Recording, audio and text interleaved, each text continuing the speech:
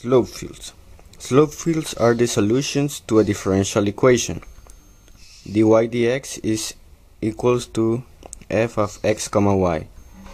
At x comma y, dy dx will give us the slope of the tangent line to the graph of the solution to the differential equation by plotting short segments at the slopes of the differential equation.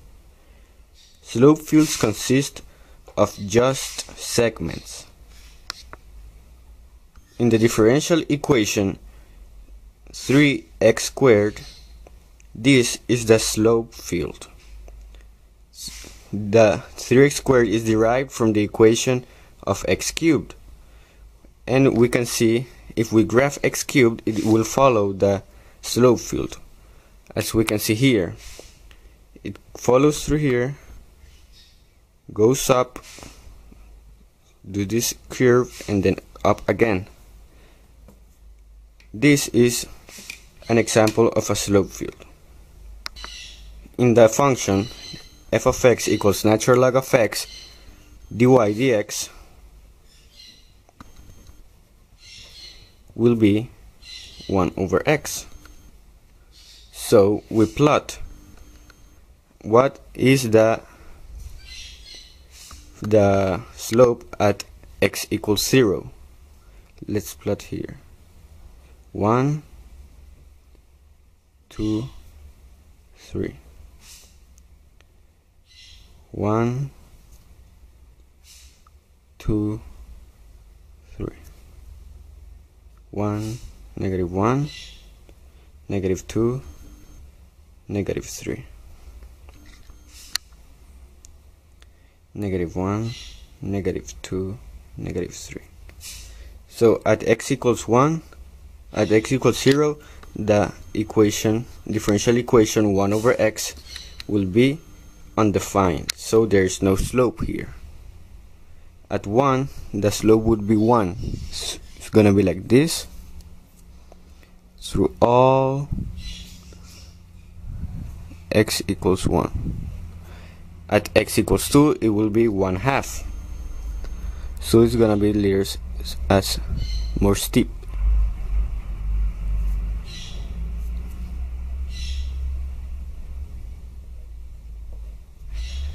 at 1 over 3 it's gonna be smaller. So we see that as the x increases the slope decreases. And since there is it is undefined at x equals 0 it, it's a, a, a vertical tangent so we follow from so if we want to graph natural log of x we go to like this.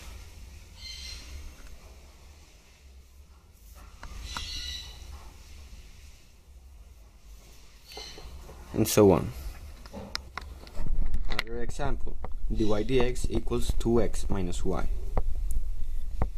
We'll just graph from the intervals of negative 1 to 1 of x and negative 1 to 1 of y so we do a table of value for dy dx that is equal to 2x minus y. So at 0 comma 0 it would be dy dx it's is 0. At 1 comma 0 it would be 2 minus 0 which is 2 at negative 1 comma 0 negative 2 at 0 comma 1 would be negative 1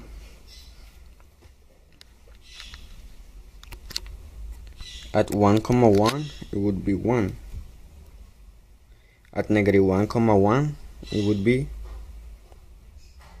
negative 1 at 0 comma negative 1 it would be 1 at 1 comma negative 1 would be 3 at negative 1 comma negative 1 it would be negative 1 So we have the values, so we just plug it in. Here's 0, the slope, so it's just a horizontal line. At 1 comma 0, it's 2, so something like this. At negative 1 comma 0, negative 2, so it's something like that. At 0 comma 1, it would be negative 1, so it's something like this. At 1 comma 1, it would, is 1, so it's something like this. At negative 1 comma 1, is negative 1 so something like that. At 0 comma negative 1 it would is 1 so just a line like this. At 1 comma negative 1 is 3 so something like this. At negative 1 comma negative 1 is negative 1 so we can see more or less the slope.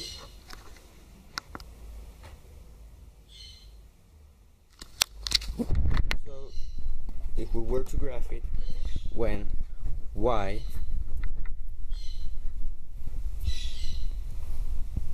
of 0 equals 0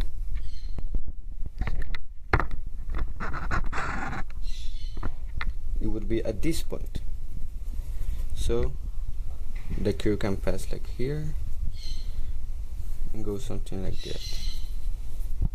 If it is 0 y 0 equals negative 1 it will be something like this. Passing through here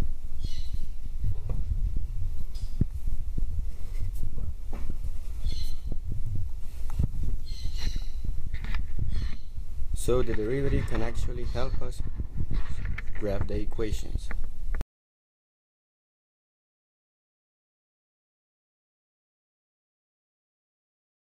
As x approaches infinity. These are three basic rules. Limit as x approaches infinity when the numerator has a variable with a power less than the power of the of the variable in the denominator, the limit as x approaches 0 infinity will be equal to 0. As you can see in 1 over x equals 0 because x is to the power of 0 while x in the denominator is to the power of 1 since since the denominator has a greater power than the numerator the limit as x approaches infinity will be 0 in the next example when the powers of both the numerator, the greater power of both the numerator and the denominator are the same, the limit as x approaches infinity will be the the ratio of its coefficients.